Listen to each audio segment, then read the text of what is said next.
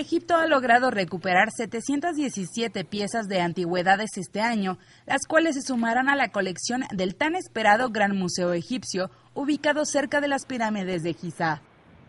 En este último año, Egipto ha recuperado 717 piezas de antigüedades. La última pieza fue el esqueleto que llegó desde Bélgica. Es el esqueleto más viejo con 35.000 años de antigüedad.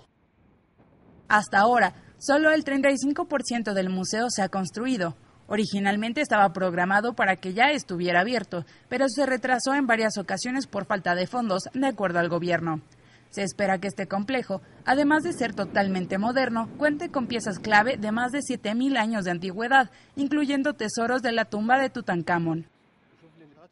El Gran Museo Egipcio tendrá 100.000 piezas de antigüedades, de las cuales 50.000 estarán en una galería a la vista del público, incluyendo Tutankamón y el segundo barco solar del rey Khufu, que hasta el momento están